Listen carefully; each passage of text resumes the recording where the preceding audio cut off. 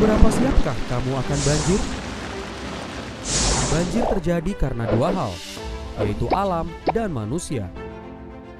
Faktor alam terjadi karena curah hujan tinggi, pasang air laut, dan sedimentasi di muara. Faktor manusia terjadi karena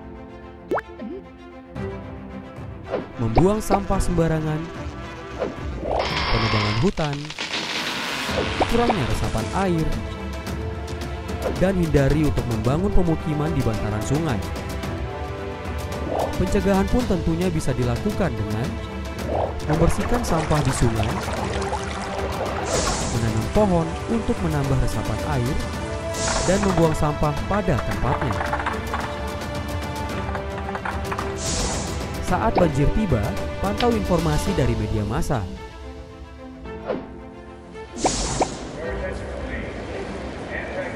Siapkan emergency bag yang dibutuhkan pada saat mendesak. Taruh dokumen di tempat yang tinggi dan matikan sumber listrik. Lalu lari dan ikuti tanda jalur evakuasi.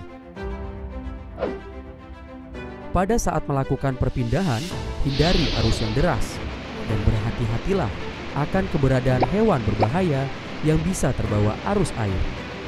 Berikut adalah pencegahan dan langkah yang bisa kamu lakukan. Jangan lupa untuk prepare, plan, practice. Kenali ancamannya, kurangi resikonya. Video ini dipersembahkan oleh Badan Nasional Penanggulangan Bencana.